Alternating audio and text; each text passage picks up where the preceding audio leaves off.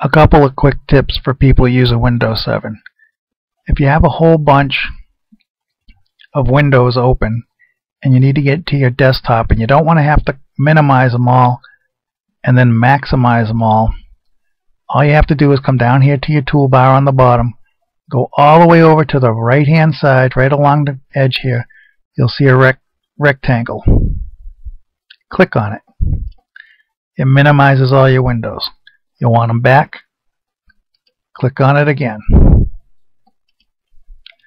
The other thing, if you want to hide all your icons on your desktop, right click, go to view,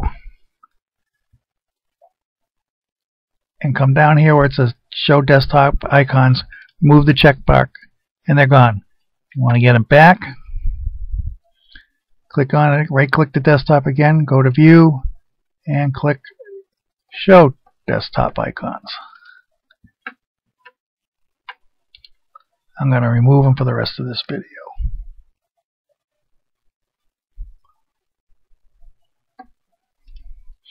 Now, right here, this is your taskbar. If you want to add something to it, it's pretty easy.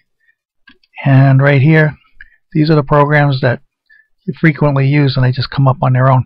But up here, this is your start menu and you can add stuff to this too easily.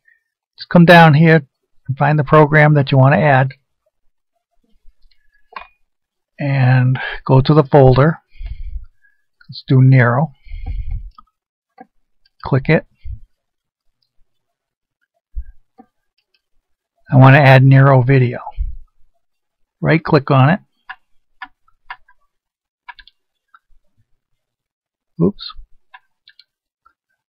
And right here it says pin to taskbar, pin to start menu. Click start menu. And I'm going to do it again, right click.